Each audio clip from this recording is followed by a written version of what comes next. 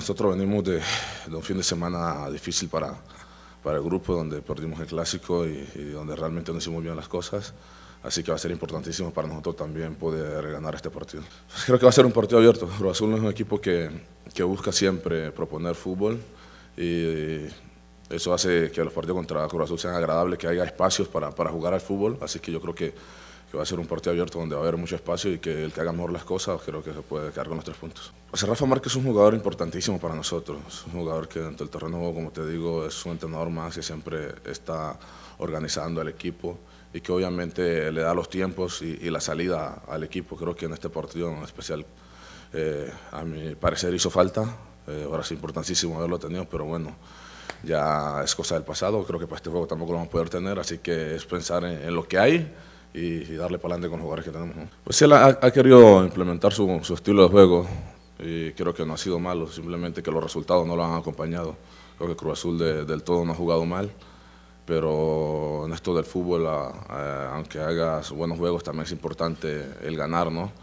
Creo que eso es lo que te acompaña en tu trabajo. Así que esperemos eh, en este partido obviamente Cruz no puede hacer ese buen juego y que nosotros podamos anular a Cruz.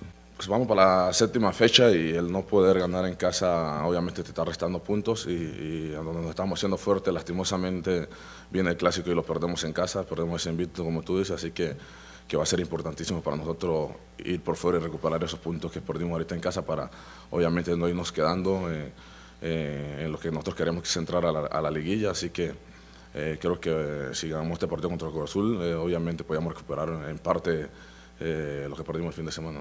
Pues es un equipo ofensivo, con, con muy buen pies. obviamente sus delanteros aún no, no logran obviamente llegar a ese punto que, que, que, el entrenador quiere o que todo equipo quiere que, que su delantero esté marcando tantos goles. No son jugadores malos, son jugadores con, con muchas condiciones, que son nuevos en el fútbol mexicano y que en cualquier momento pueden obviamente destaparse, ¿no? si, si tú le das esa, esa ventaja. Eh, Jauterucho y, obviamente los chilenos que llegaron son muy buenos delanteros. Eh, en la mitad del campo tiene a, Peñalba, que lo conozco muy bien, que es un gran jugador, con muy buen pie. El Chaco, creo que es un equipo muy interesante, que maneja muy bien el balón y que por fuera, por las bandas también eh, son muy desequilibrantes. Joao Rojas, que ya en el fútbol mexicano todo el mundo lo conoce. Así que, que, va a ser, un, a mi parecer, un partido muy difícil, donde nosotros tenemos que estar muy concentrados y que obviamente tenemos que mostrar una cara muy diferente a la que mostramos en el Clásico.